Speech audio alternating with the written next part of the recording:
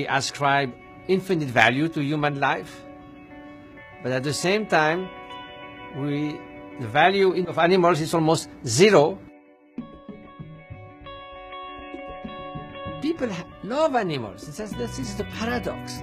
No, we love dogs, but we eat pigs and wear cows. Why?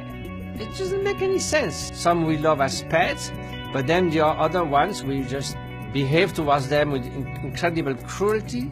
People try to justify uh, the way we treat animals. Well, animals don't feel pain, they don't have a soul, or they were created just for our consumption. That is completely clear that animals do have emotion, that they feel pain, and it's not only uh, you know, great apes and, and dogs and cats that we of course know that they have emotion and feel pain, but it has been shown that fishes, they have all the neurotransmitters for feeling pain, that they do feel pain a lot.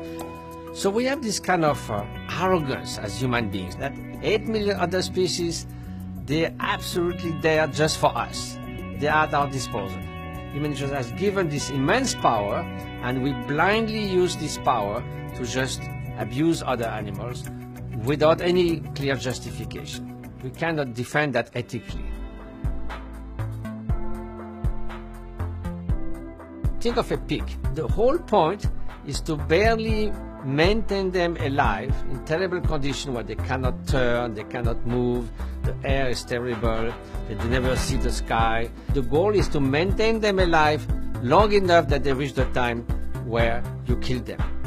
So I think this is the time to think carefully. Those are sentient beings. If we are concerned by the suffering of others and we value that aspiration not to suffer, why should we place zero value on the experience of other animals? We need to change our mentality. If we embrace all sentient beings, not only we will include animals, but we'll also love better in a way human being because the strength and the magnitude and the depth of our compassion will be vaster.